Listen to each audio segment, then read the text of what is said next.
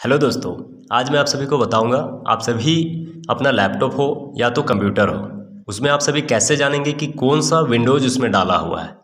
जैसे मान लीजिए बहुत सारा कन्फ्यूज़न होता है ना कि विंडोज़ सेवन है, कि विंडोज़ टेन है, या फिर तो विंडोज़ एलेवन है। तो आज मैं आप सभी को बताऊँगा, आप सभी का जो लैपटॉप हो या तो कंप्यूटर हो, उसमें कौन सा विंडोज़ लगाया हुआ है, या फिर तो कौन सा विंडोज़ उसमें इंस्टॉलेड है। उसके लिए सबसे पहले हम लोग क्या करेंगे, देखिए, ये जो हमारा जो दिस पीसी का जो ऑप्शन है, हम लोग यहाँ पे दिस पीसी में चले जाएँगे। आपके यहाँ पे क्या दिखेगा कंप्यूटर भी रहेगा तो आप उसमें क्या करिएगा राइट क्लिक कर लीजिएगा। अब राइट क्लिक करने के बाद सबसे नीचे जैसे आइएगा तो यहाँ पे देखिए क्या ऑप्शन मिलेगा प्रॉपर्टीज़ का। तो जैसे आप यहाँ पे प्रॉपर्टीज़ में क्लिक करेंगे तो प्रॉपर्टीज़ में क्लिक करने के बाद देखिए यहाँ पे ऑप्शंस खुलेगा। इसमें देखिए इंस्टॉलर रैम यहाँ पे दिखेगा। रैम के बाद यहाँ पे क्या करेंगे? और हम लोग उसी को क्या करते हैं? नीचे जब अगर करेंगे, देखिए, नीचे आने के बाद देखिए, यहाँ पे दिख रहा है एडिशन में विंडोज़ 11 होम सिंगल लाइन इससे पता चलता है कि हमारा कौन सा विंडोज़ 11 है।